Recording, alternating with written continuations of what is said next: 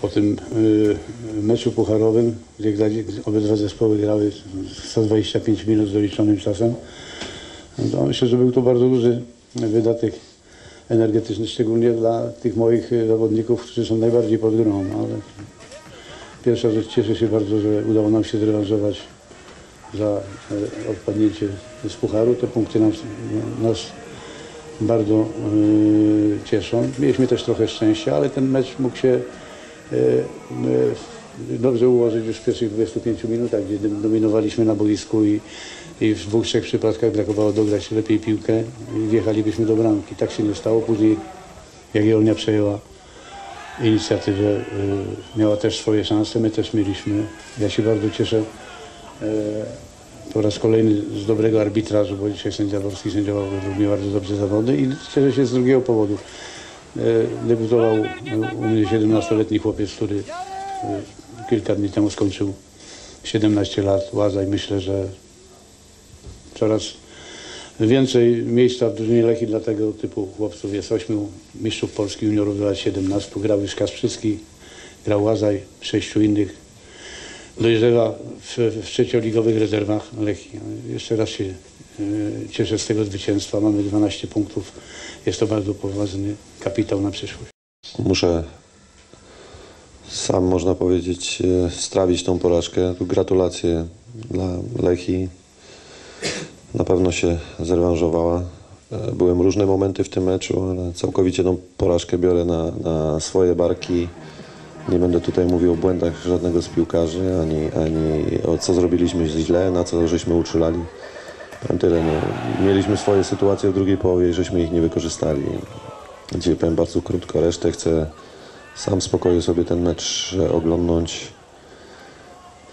No i tak jak mówię, wszystkie decyzje, co chodzi o, o, o wystawienie mm, składu pierwszego i o zmiany, tak jak powiedziałem, biorę na siebie porażkę też.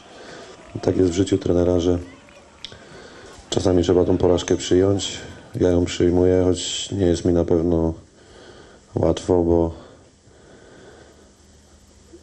zawsze miałem ogromne ambicje, no ale nie zawsze ambicje przekładają się na to, co się dzieje na boisku. Także będziemy ciężko pracować i myśleć już o kolejnym meczu.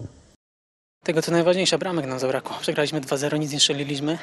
Przez to mecz przegraliśmy. Chyba sami siebie głównie zaskoczyliśmy, bo do 20 minut bardzo słabo graliśmy, straciliśmy bramkę i dopiero ta bramka nas trochę obudziła, zaczęliśmy więcej atakować.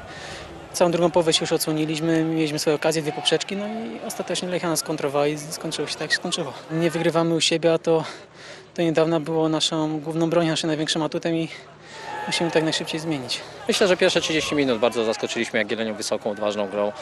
Mogliśmy ustalić wynik nawet y, na 2-0, mogliśmy strzelić w tych pierwszych 30 minutach i to zdeterminowało potem nasze poczynania na, na boisku Jagiellonii. Jagiellonia rzuciła się do frontalnych ataków, wstawiliśmy się na kontrę, jedna wpadła, mogła wpaść druga, także no, y, po prostu standard i klasyka meczów ligowych, strzelić bramkę, cofnąć. Na pewno będą to ciężkie dwa tygodnie i- i nie będą to łatwe. Przede wszystkim e,